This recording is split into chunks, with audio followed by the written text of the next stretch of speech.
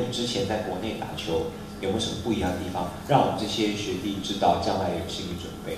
呃，在国外打球，他们比较注重沟通，教练跟选手的沟通，因为我们在国外，在一个球团里面大概有像大概两三百人，可是教练有限，可能一个层级分配三四个教练，可是他没有办法每一个球员都顾到。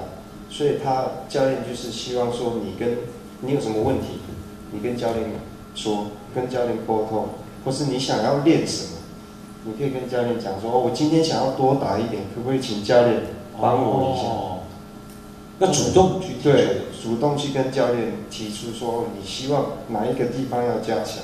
我觉得这是好事，因为你会了解到自己缺少什么，自己哪里不足，而不是从旁边的人来看出说你哪里错误，哪里错。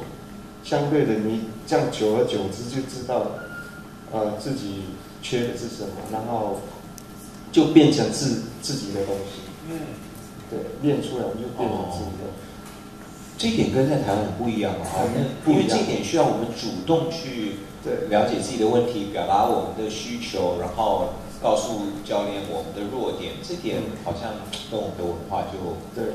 那当初你应该调整到这样的状况，也花了一点时间。呃，花了蛮蛮长的时间，因为基本上沟通就是要语言嘛，那语言第一个就不通了，我要比手画脚，其实蛮难的。教练脸上就没有图可以给你指了，这样。